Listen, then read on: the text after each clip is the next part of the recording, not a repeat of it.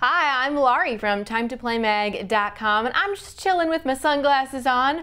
Or am I? These are the Spy Gear Spy Specs video glasses from Spin Master, and these high-tech special op shades record videos and photos of your surroundings. I'm actually recording a video guy right now.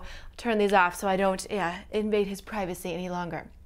The hidden embedded camera will begin to record with a simple click of a button. The Spy Specs can take up to 2,000 photos or 15 minutes of video, although that information is not communicated either on the box or in the instructions. We only know this information because Spin Master told us. The dark lenses hide your gaze as you survey the area and collect footage.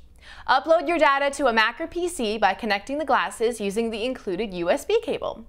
The USB cable also charges your glasses and it takes about 15 minutes to get a full charge.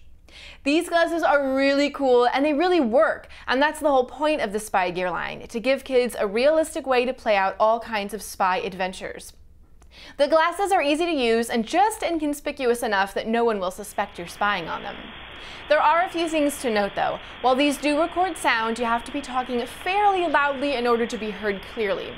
Also, there is an LED light on the inside of the glasses that lets you know that your glasses are recording, that the memory is full, or that the battery is low.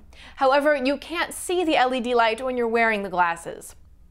These are for ages 8 and up, and for more information such as how much they cost and where to buy, visit timetoplaymag.com or download our free app, Shop for Kids by Time to Play Mag, for great information and ideas on the go. I've got more spying to do.